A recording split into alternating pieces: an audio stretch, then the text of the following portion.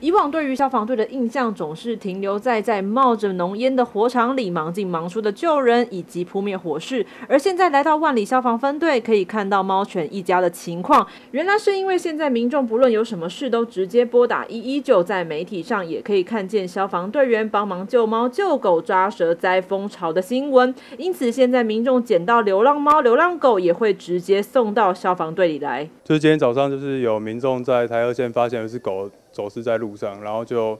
把他带来我们消防队。这工作其实不属于在我们的救灾方面的工作上，只是但是我们为了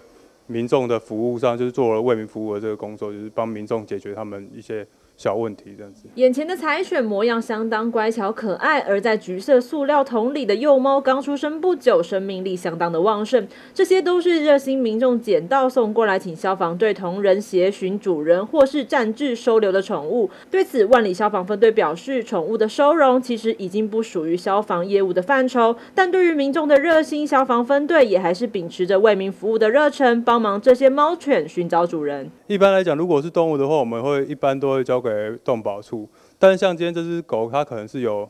人饲养的，但是我们希望也是能回到它的饲主上面，所以我们就可能在一些社群网站上抛出它的一些资讯，希望能。他的事主可以把它领回去，这样子。在将这些猫犬安置好之后，消防队员还要着手打起文案，将资讯放上网，贴上照片。小队长更是忙着打电话向附近区域的机关通报。若是有走失宠物的民众，也可以立即来消防分队寻找宠物。但消防队员并非万能，呼吁民众未来若是遇到相关情形，可以寻求动物保护单位的处理协助，让消防业务回归专业，以免真正的防灾救难工作请勿吃紧。记者廖品涵万里采访报道。